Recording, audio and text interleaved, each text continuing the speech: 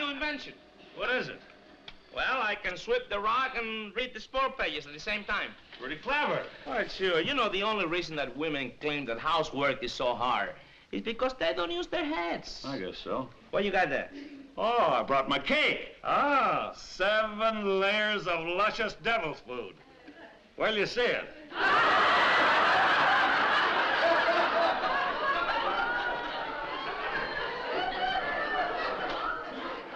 What happened to the other six layers?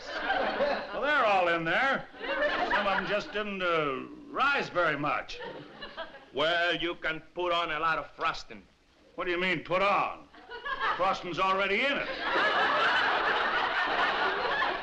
In it? Yeah, I mixed it all up together before I baked the cake.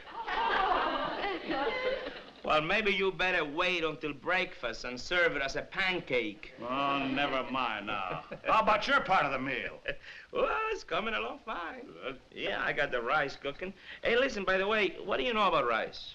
Well, I had it thrown at me on one of the darkest days of my life.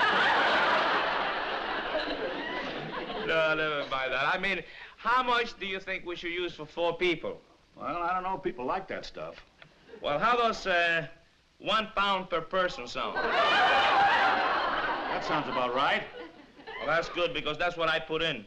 Four pounds. Good. That's good. Now let me see. I got the uh, I got the chickens cooking in the pressure cooker. Yeah. Now, how long do you think they should take?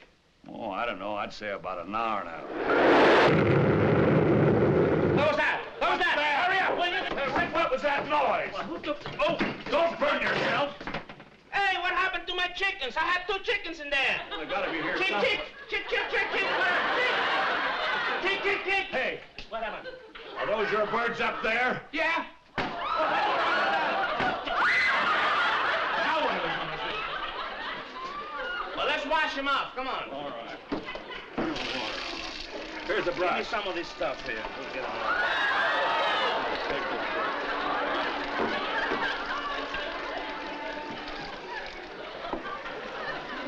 Give me some more of that stuff over here. Mm-hmm. Attaboy. This one's really soft.